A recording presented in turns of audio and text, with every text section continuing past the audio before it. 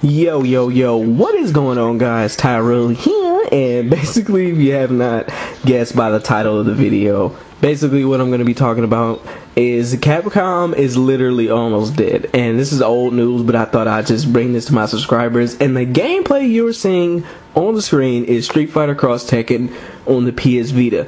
It became a port um, early in the Vita's release, I think. I'm not sure, but I know that the port is actually good but the game I just don't like the game.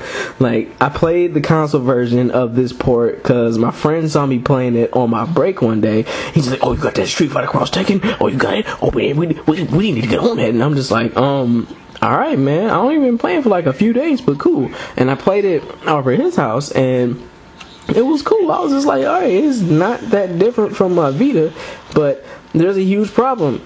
I don't like this game.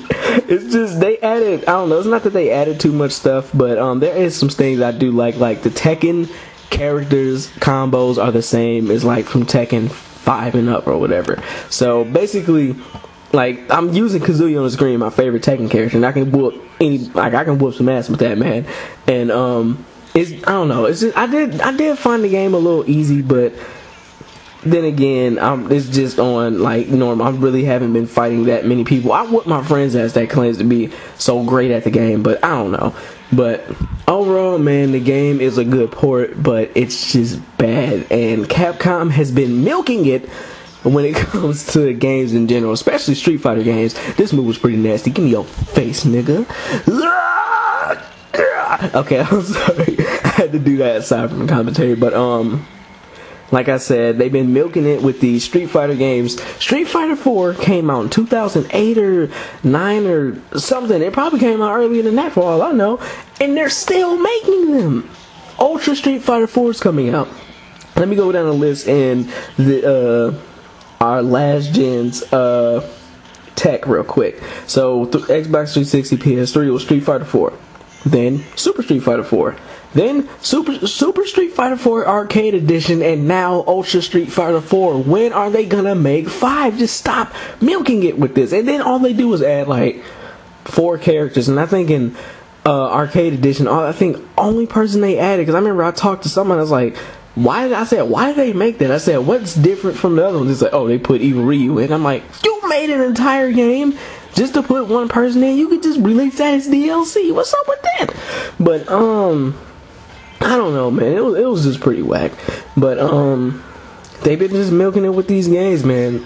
Uh, Resident Evil hasn't been the same since four, which is my favorite, which I've said in plenty of commentaries. Um, but they said they were gonna go back to the survival horror type feel of the game. They said that in six, and they still didn't fucking do it because I was not scared in six at all. I was more scared of five than I was of six because six literally did not scare me at all five didn't either, but it was probably worse. And this is one thing I do like in the game is like these little linker uh, super moves. Look at that! I just.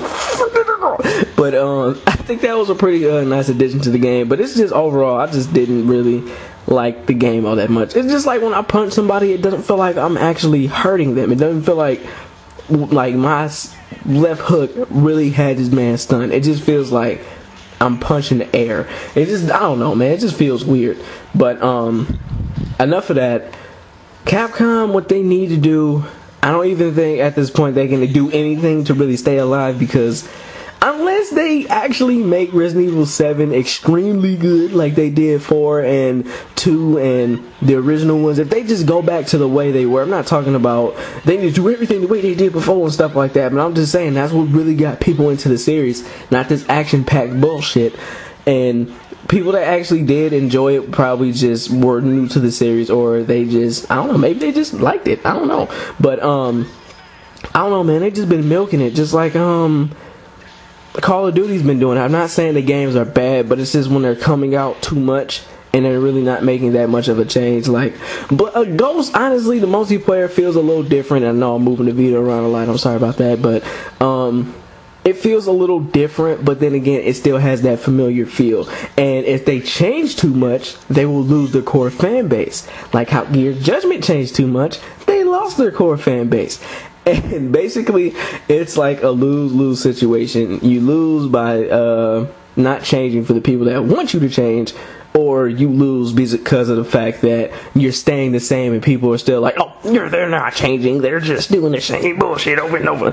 Basically, it's a little lose situation. You really cannot do much. So that's what's that's what's bad about that. Once a game gets big and popular, it's gonna be hated at a time and point. That's why Call of Duty is hated so much. And um, another thing is if they just made the games that people actually wanted, like I said, they brought back Resident Evil the way it was, and they made like another Mega Man. People were actually waiting on another Mega Man game. Um, people hated Devil May Cry, the, the new Devil May Cry, the uh, remake they did. People hated it, like especially the fans early on because Dante looked different. And honestly, I played the new Devil May Cry, and I've still, as you can see, I had it in an unboxing, the original uh, HD collection as well. The game was still good those people that's just bitching about the way he looked, that was just stupid. The game had actually a really, really good story, and I liked it a lot more than the other game stories because the other game stories they had an okay story, but it really wasn't like that great of a story. But that one actually had a really good story. There were some things I didn't like about the game, but I get into that later. But um, if Capcom just basically, I just think they should just like haul, like just leave Street Fighter alone for now leave it alone for now, and or just make Street Fighter Five because that is the main thing that Capcom is really known for: Street Fighter and Resident Evil, and or for me, Devil May Cry and Mega Man. That's what they're most known for, and I don't know, it could be more games than that that I'm not sure of, but. I just wish that Capcom wouldn't die off because it's sad because I grew up playing these games and I don't want to see them die off. It's pretty bad though. Um, so um, this gameplay is just about over. I hope you guys enjoy the commentary. Tell me what you think about Capcom almost dying off. And I got more videos on the way. I just had to pop this one out because I filmed this gameplay a long time ago and I just needed to get this off my chest because I literally did not like this game at all. Not because the port, not because of the graphics or any of that shit. I just did not like it because they zap Tekken characters into a cartoony ass world, and the fighting just feels weird. And it's just what Capcom is doing with Street Fighter, milking that shit dry. I don't know, man. They just hopefully they can change it sometime soon. Don't change it too much, but just make it better add some innovation. So I hope you guys enjoyed it, and that is it for this gameplay. Stay tuned for more, and Tyrug be out.